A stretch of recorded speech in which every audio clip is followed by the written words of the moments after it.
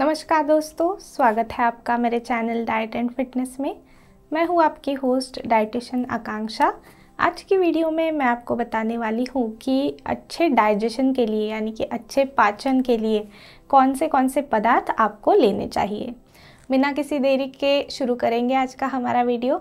Video शुरू करने से पहले मैं आपको एक रिक्वेस्ट करूँगी कि अगर आपने अभी तक मेरे चैनल को सब्सक्राइब नहीं किया है, अगर आप मेरे चैनल पे नए हो तो जल्दी से मेरे चैनल को सब्सक्राइब कर लीजिए। तो आज की वीडियो में सबसे पहला पदार्थ है अदरक। अदरक का स्वाद थोड़ा तेज़ होता है, थोड़ा तीखा होता है, इसलिए बहुत सारे लोग कभी कभार अदरक नहीं खाते हैं या फिर खाना पसंद नहीं होता है। लेकिन अदरक हमारे पाचन के लिए बहुत ही ज़्यादा आवश्यक होता है, बहुत ही ज़्यादा मदद करता है। कभी कभार कॉन्स्टिपेशन है या फिर गैस है या फिर पेट के अंदर जो दर्द होता है उससे तुरंत राहत देने के लिए अदरक बहुत ही ज़्यादा मदद करता है। तो इसीलिए आपको आपके रोज़ के आहार में अदरक का अच्छे से समावेश करना है, या फिर सोने से पहले अगर आप अदरक का जो पानी होता है, अदरक का रस हम बोल सकते हैं, वो लेते हो तो भी ये पाचन में बहुत ज़्यादा मदद करेगा। बहुत सारे लोगों को कॉन्स्टिपेशन या फिर गैस की प्रॉब्लम हो जाती है, उनके लिए ये रस बहुत ही ज़्यादा लाभदायक होता है। दूसरा है साबुत अनाज। तो साबुत अनाज जो होता है, वो हमारे आहार का सबसे अहम हिस्सा है। डाइटरी फाइबर बी विटामिन और बहुत सारे मिनरल से भरपूर होते हैं। तो शरीर को अच्छे से पोषण भी देते हैं और क्योंकि इनमें डाइटरी फाइबर की मात्रा अच्छी होती है तो इसका सेवन आपको अच्छी मात्रा में करना ही है, क्योंकि ये जो फाइबर होता है, वो हमारे पाचन के लिए काफ़ी लाभदायक होता है। उसी के साथ साथ ये हमारे शरीर का जो कोलेस्ट्रॉल होता है, उसके नियंत्रण का भी काम करते हैं। इसीलिए साबुत अनाज का समावेश एक अच्छे से आपको आपके आहार में करना है। जितना ज़्यादा हो सके उतना साबुत अनाज। बहुत सारे लोग ऐसे होते हैं कि रिफाइंड जो पदार्थ आते हैं, उनका समावेश करते हैं। जो चोकर के साथ आटा होता है, वो भी बहुत ज़्यादा मदद करता है पाचन के लिए। तीसरा पदार्थ है हरी सब्ज़ियाँ। तो जो लोगों को ग्लूटेन इंटॉलरेंस है, यानी कि जो गेहूँ का आटा होता है या फिर ग्लूटेन युक्त कोई भी पदार्थ नहीं खा पाते हैं, उन्हें फिर फाइबर की मात्रा कहाँ से आएगी अपने शरीर में? तो उनके लिए हरी सब्जियों का ऑप्शन जो है, वो बहुत ही अच्छा है। क्योंकि हरी सब्जियों से भी बहुत ही अच्छी मात्रा में सोल्यूबल फाइबर मिलता है। उसी के साथ साथ बाकी के जो पोषक तत्व होते हैं, बहुत सारे विटामिन और मिनरल्स हैं, वो भी मिलते हैं। पालक जैसी सब्ज़ियाँ अगर आप खाते हो तो हमारे पेट के अंदर का जो लाइनिंग होता है, अंदर की जो वॉल होती है, उसके सुरक्षा के लिए ये बहुत ज़्यादा मदद करता है। इस प्रकार से हरी सब्ज़ियाँ हमारे डाइजेशन में सुधार लाती है। तो इसीलिए ताज़ी ताज़ी हरी सब्ज़ियाँ जो होती है, जो मौसमी सब्ज़ियाँ होती है, ऐसी सारी सब्जियों का एक अच्छी मात्रा में आपको सेवन करना है। ख़ास तौर पे जिन लोगों को कॉन्स्टिपेशन की प्रॉब्लम होती है या फिर पाचन के लिए बहुत तकलीफ़ होती है, उन लोगों ने ज़रूर इन सारी सब्जियों का समावेश करना है। चौथा पदार्थ है चिया के बीज। चिया के बीज जो होते हैं, उनमें भी काफ़ी अच्छी मात्रा में पोषण होता है और सोल्यूबल फाइबर का एक बहुत ही अच्छा सोर्स है ये। तो कॉन्स्टिपेशन जिन लोगों को है या फिर पाचन में तकलीफ़ है, ऐसे लोगों के लिए बहुत अच्छा है, लेकिन ज़्यादा मात्रा में इसका सेवन नहीं करना है, क्योंकि अगर ज़्यादा मात्रा में इसका आप सेवन करते हो तो डायरिया या फिर पेट में गड़बड़ी हो सकती है।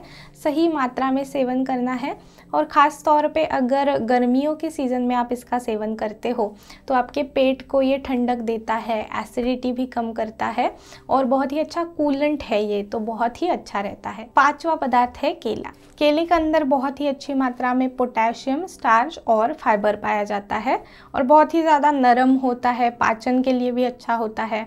तो ख़ास तौर पे जब भी पेट में कुछ गड़बड़ी हुई हो तो उस समय खाने के लिए केला बहुत ही अच्छा पर्याय है। पाचन के लिए बहुत ज़्यादा ये मदद करता है। छठा पदार्थ है सौफ। तो जैसे कि आपको पता है, सौफ जो होती है, वो हमारे खाने में स्वाद लाती है। बहुत ही अच्छा मुखवास के तौर पे ये खाई जाती है, क्योंकि ये पाचन के लिए अच्छी होती है। इसके अंदर बहुत अच्छी मात्रा में एंटी इन्फ्लेमेटरी प्रॉपर्टीज़ पाई जाती है और पाचन में ये सुधार करती है। तो इसीलिए ये रिवाज है कि खाने के बाद हम थोड़ी सी सौफ खाते हैं, क्योंकि ये पाचन के लिए बहुत ही ज़्यादा लाभदायक होती है। सातवां पदार्थ है सेब। सेब जो होता है, वो पेक्टिन नाम के फाइबर से भरपूर होता है, जो कि अपचन से हमारे शरीर का बचाव करता है। और जैसे कि आपको पता ही होगा कि सेब के अंदर जो फाइबर होता है तो बहुत सारी प्रॉब्लम्स के लिए ये असरदार होता है। उसी के साथ साथ ये हमारे पाचन के लिए अच्छा होता है। ख़ासतौर पर बच्चों के लिए अगर आप देखोगे, बच्चों के पेट में कुछ गड़बड़ी होती है तो आप सेब है या फिर केला है, ऐसे फ्रूट्स जो होते हैं, वो उन्हें भी दे सकते हो, क्योंकि उनके पेट के लिए वो ज़्यादा हैवी भी नहीं होते, ज़्यादा हल्के होते हैं।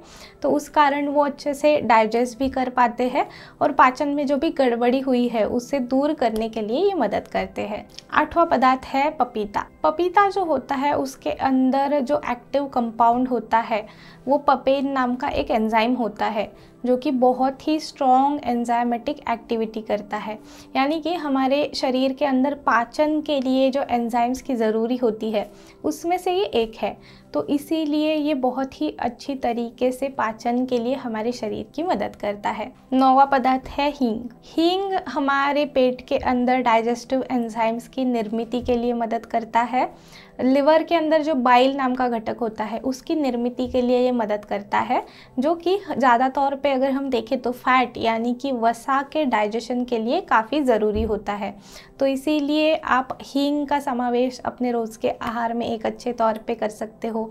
या फिर हींग की गोली भी आती है, पाचक टैबलेट्स आती है। कभी कभार उसका सेवन भी आप कर सकते हो। लेकिन इन चीज़ों की थोड़ी आदत लग जाती है तो ऐसे नहीं होना चाहिए कि रोज़ आप खा रहे हो।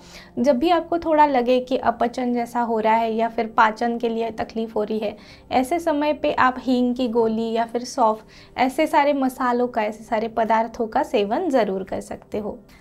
दसवां और सबसे ज़रूरी पदार्थ है पानी। तो पानी तो ज़रूर आवश्यक होता है हमारे शरीर के लिए। शरीर में सबसे ज़्यादा अगर हम देखें तो जो भी टॉक्सिन्स होते हैं शरीर से, वो निकालने के लिए, शरीर का तापमान नियंत्रित करने के लिए और हमारे पाचन के लिए ये काफ़ी आवश्यक है।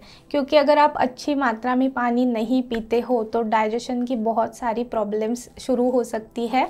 कॉन्स्टिपेशन जैसी प्रॉब्लम्स है या फिर अगर पानी का सेवन आप सही मात्रा में करते हो तो आपको ज़रूर महसूस होगा कि आपका पाचन अच्छे से हो रहा है। तो इसीलिए पानी का सेवन भी अच्छी मात्रा में करना है और ये सारे पदार्थ जो मैंने बताए, उनमें से भी कोई एक पदार्थ आप ज़रूर ले सकते हो जब भी आपको पाचन के लिए तकलीफ़ हो तभी। तो आज की वीडियो के लिए बस इतना ही दोस्तों। आई होप कि आपको ये वीडियो पसंद आया होगा। मैं अब आपसे मिलती हूँ अगले वीडियो में एक नए विषय के साथ। तब तक के लिए गुड बाय